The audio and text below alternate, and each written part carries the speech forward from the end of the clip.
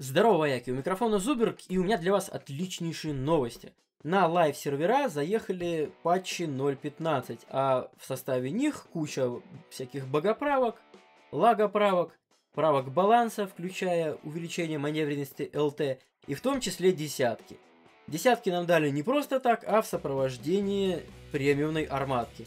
Да, это действительно 10 уровня премиум танк, и да, это Т-14 армата. В течение двух с лишним недель до 16 мая вы можете кататься на ней в PvE. В PvP вас на ней не пустит, только в PvE шку. И вы там катаетесь, зарабатываете опыт, понимаете, нравится ли вам геймплей такой интересной машины и вообще геймплей десяток в целом, ну и, естественно же, фармите.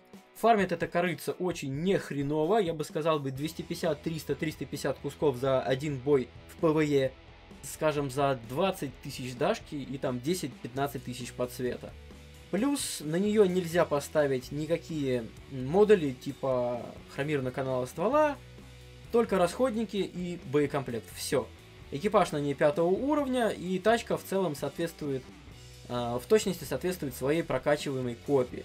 То есть это небольшой такой подарочек, который с одной стороны вас должен заинтересовать, заинтересовать в прокачке десяток, а с другой стороны это, ну, ваша не то чтобы награда, ну, просто приятный сюрприз от Мейла и Obsidian, который позволяет вам и пощупать десятки, понять, нравится ли вам геймплей, и очень круто пофармить.